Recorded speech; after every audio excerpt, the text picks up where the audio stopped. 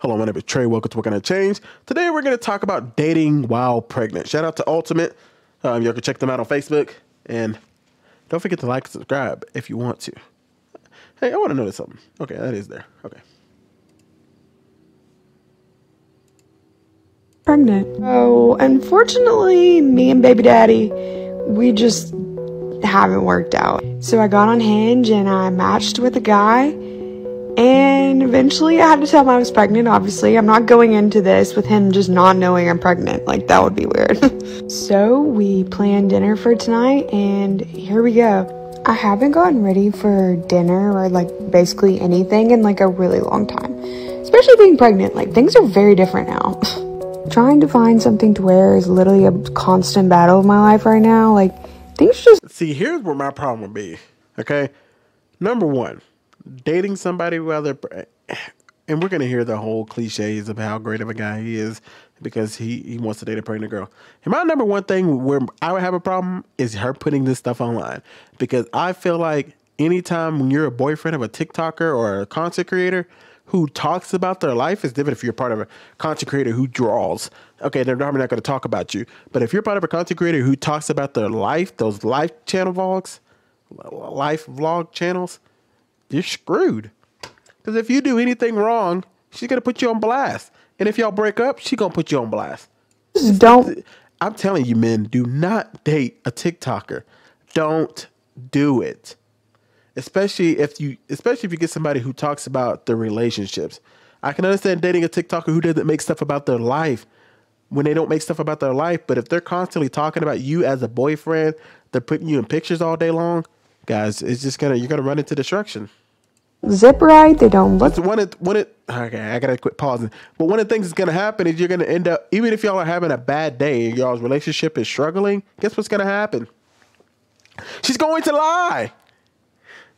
You know, she's gonna be like, "Oh, our relationship's going great," when it's really not, and she's disrespecting you or whatnot, and it's all going south, and you you're wanting to break up, and she's just gonna be online, and be like, "Our relationship is the best. You need to get a man like mine," and y'all, and meanwhile, y'all are fighting every single day. It's just, Right. it's just too much pressure. It's just unnecessary. It can look like a If one whale. of y'all's a content creator, y'all can't talk about each other too often. Oh, I can look like a dozen roses.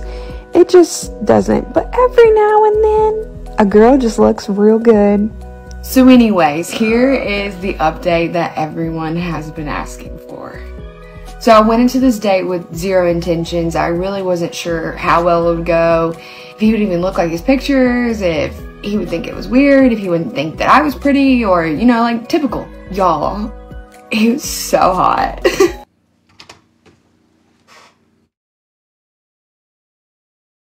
Dead.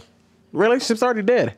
Guys, women who talk like this, like teenagers, it's just I understand women can talk about, you know, your husband being attractive and stuff like this. But any girl who gets online and says, guys, he was so hot, you're screwed, dude. You might as well just go ahead and break up with her now. Because now what she's done is when she's talking to all her female friends online, oh my gosh, it's just a matter of time before she puts you on camera. I mean, it's just it's just silly to me. I don't, I know some people love it, but I just find it silly when people talk like this. Like I don't know if I would ever, as a grown man, a father, get on and be like, guys, and her booty was juicy. Uh, to me, I just don't talk like that. There's just a difference between me and a 20 year old. There's a difference between me and a teenager. I just don't talk this way. I don't find it appealing. I just feel like there needs to be some separation when you become a mom. But you're you think it's guys, he's so hot. So does he slap you around? You know, I know that's a little overboard, but it's just like, you know, that's it. Just I, and my mind is kind of in this because I just watched a video on somebody who was who kept talking about how great the men in her life was and how good they looked, and every one of them did her wrong because she didn't know how to deal with her past. It, was a lot. It was a long video. Y'all go watch it on my uh my victim video, the traffic video. But when a girl starts off with, a man, he was so hot, and she's smiling like this, run. Look just like his pictures, if not better. He's tall, he's handsome, he's tatted, It's over. and he is literally the most genuine. How do you know how genuine somebody is on the first date? Do people know what the word genuine means? Hold on, let's look this word up. Let's go to uh, dictionary with Trey. What they used to call that song, uh, pull out the notepad with Blue's Clues. I forgot how the song goes though. Let's pull out our handy dandy dictionary. Okay, truly something is said to be somebody who's genu- genuine is authentic, or a person who is sincere. You cannot know a person sincere, genuine, or authentic if you literally never got to know them on the first date. How do you know they're genuine? Because if somebody's fake and you come out a couple weeks later and you're like, hey, this person was actually fake. You said they were genuine. You can't say that on the first date, girl. You don't know the person. I can literally act like anything. I could go there, pretend to be a butthole, and be a complete jerk. And you you can literally say that's me being genuine. I'm at least being authentic. What I am is a terrible person.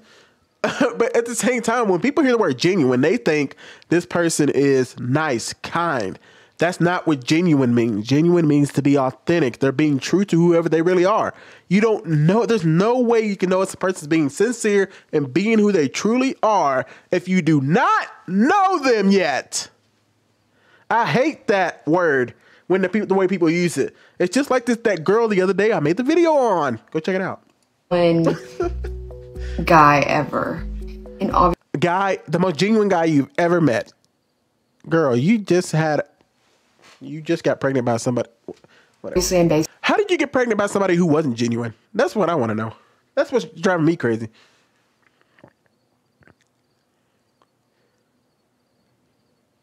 That's a good point. this all off of the first day. That's what that's what I told you. Women do. As soon as a, a, a guy decides to be a stepdad, they're just like, "Oh yeah, he's the greatest person on earth." It's like, is he though? Because other men aren't going to look at him like that. But when I say that date was 10 out of 10, like, I'm speechless. and we have a second date planned. And So we're gonna move forward because they go on a couple more dates. I don't want her to feel sad. I know she feels what I feel, like a pregnant girl. But I will say, you know, it has helped a ton having support around me, family support, you know, having now like someone new in my life, friends. So I think my biggest piece of advice is build your village. You know, don't be afraid to ask for help. I'm very happy to say that I'm still seeing the guy that I met 10 weeks ago. You know, life is very different now being 35 weeks pregnant. Like, I'm so big. I think right now I'm kind of at like that emotional point in my It's pregnancy. so crazy because at and she didn't mention it. Maybe I should go back a little bit. But the very first va- uh, date they, the very first time they met, he literally went over there and built a crib. And the whole video is about dating. It's hard to date while you're pregnant. From what I saw, this was her very first date being pregnant, and it immediately worked. So how is that supposed to teach anybody that dating while pregnant was hard?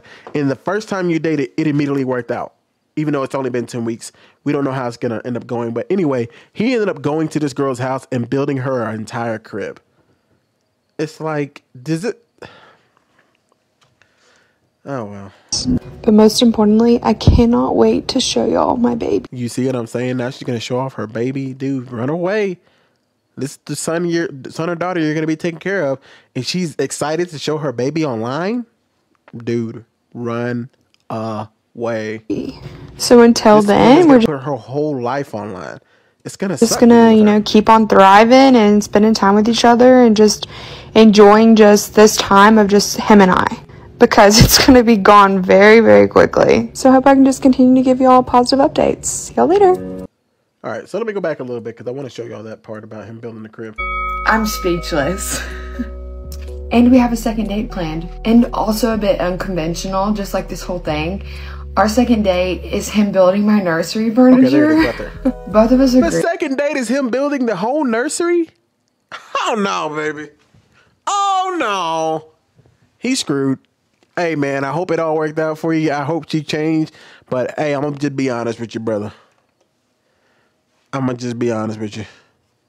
You got a hard life in front of